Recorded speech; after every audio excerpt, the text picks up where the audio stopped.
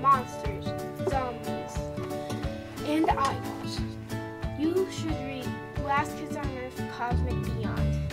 In this book, a villainous ruins all of Jack's fun with the monsters and tries to like make a party, a winter party.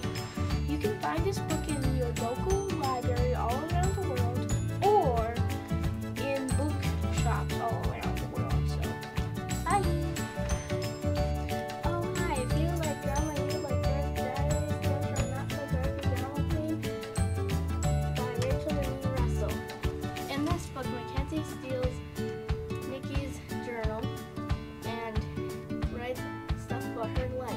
If you want to find more, you can find this in your local library. Bye! If you like fantasy, you will love the book, The Witches. Join the boy in the adventurous journey into a little hotel on the coast of England, where he discovers witches. And right on the spot, he's a mouse. The witches plan to do this to all the children